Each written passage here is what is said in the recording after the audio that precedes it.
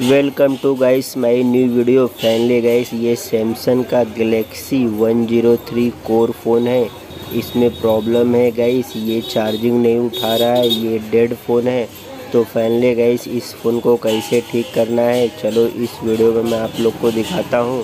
पहले तो फ़ोन को ओपन कर लेते हैं गाइस और इसमें चेक करते हैं कि इसमें प्रॉब्लम क्या है। तो पहला स्टेप होता है गाइस पहले तो हमें जो है इसका चार्जिंग पिन को चेंज करके देखेंगे गाइस क्योंकि ऐसा फ़ोन में अधिक करके चार्जिंग का ही प्रॉब्लम आता है। तो फाइनली गाइस चलो फ़ोन को ओपन कर लेते हैं और हमारे चार्जिंग पिन को चेंज करते हैं। देख सकते हैं गाइस ये मैंने सब बोर्ड को बाहर निकाल रहा हूँ। तो फाइनली गाइस इस फ़ोन में जो प्रॉब्लम है, ये चार्जिंग भी नहीं उठा रहा है और पूरी तरह से डेड है। तो पहला स्टेप जो गाइस है, इसका मैं चार्जिंग पिन को चेंज करूँगा।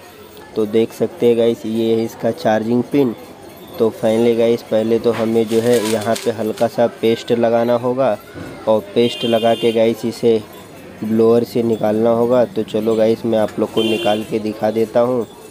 ये देख सकते हैं मैं इसमें पेस्ट लगा रहा हूँ। गाइस पेस्ट लगाते हुए काफ़ी सावधानी से लगाना, क्योंकि इसके जस्ट बाजू में माइक होता है।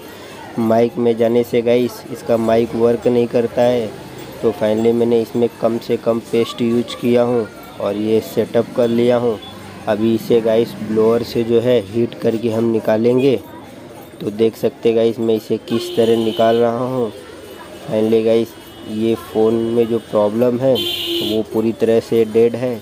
तो मेरे स्टाफ से इसका चार्जिंग पिन से ही प्रॉब्लम हो सकता है। तो पहला स्टेप मैं इसमें चार्जिंग पिन को ही नया लगा के देख लेता हूँ। और चालू हुआ तो नहीं तो इसके आगे मैं चेक करके दिखाऊँगा गाइस इसमें प्रॉब्लम क्या है। तो पहले हमें यहाँ पे अच्छे से क्लीन कर लेते हैं। और क्लीन करके गाइस जो है, यहाँ पे नया चार्जिंग पिन को बैठाएँगे। तो देख सकते गाइस मैं इसमें चार्जिंग पिन को किस तरह बैठाता हूँ।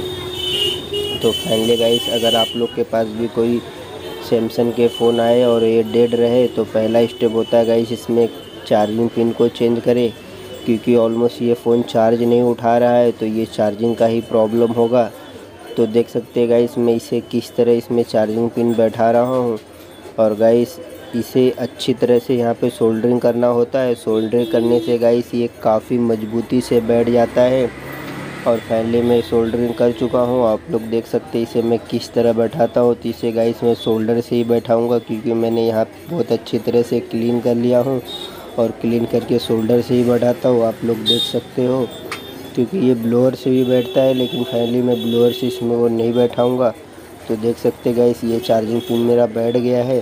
तो चलो गाइस इसको फिटिंग करके जो है और लगा के देख लेते जो हमारा प्रॉब्लम था फ़ोन डेड का।